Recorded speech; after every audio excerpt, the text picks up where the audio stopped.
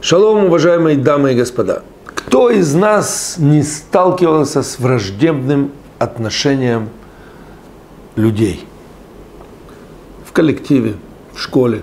У наших детей часто возникают такие проблемные ситуации, когда ну, ребенка просто не любят.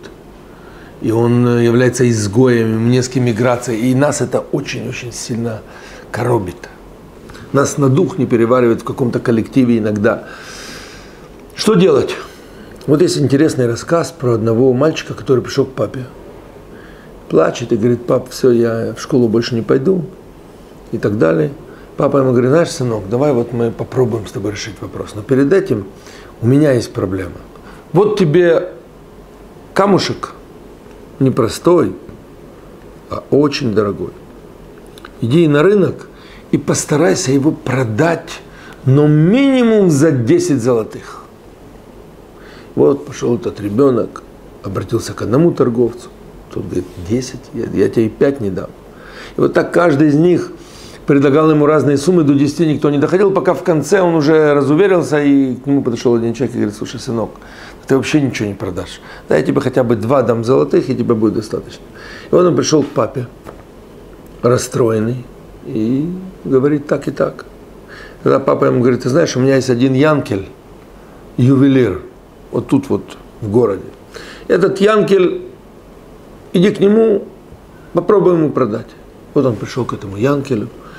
Янкель посмотрел на этот камень и говорит, сынок, я дам тебе за него минимум 20 золотых. А если он у меня еще полежит немножко, то, наверное, и до 50 доберется, потому что он все время набирает цену. Все падает, он поднимается в цене и так далее. Короче говоря, мальчик обрадовался, пришел к папе и говорит, вот, действительно, этот Янкель, почему ты меня сразу к Янкелю не послал? Он говорит, я тебе объясню, почему. Те люди на рынке, они абсолютно не понимают в камнях. А этот профессионал, он посмотрел, он сразу оценил. То же самое в том классе, где ты находишься дети, которые смотрят на тебя, они не понимают вообще ни в душе человека, ни в его каких-то внутренних э, характерных эмоциональных качествах. Они тебя давят сразу и все. А ты научись оценить себя правильно. Ведь я же тебя люблю. Вот смотри, мы с мамой тебя любим. Тебя любят еще там дети.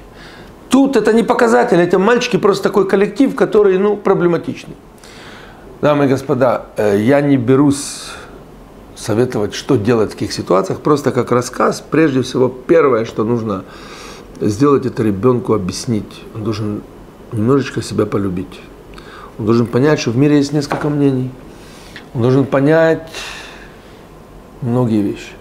С детьми дело обстоит всегда сложнее, но когда речь идет о нас, мы попадаем в такое общество, и мы не можем там ничего изменить, нам просто нужно оценить себя, посмотреть на других людей как на непрофессионалов и надеяться, что в какой-то момент прекрасный они все-таки оценят нас и будут более дружелюбно относиться к нам.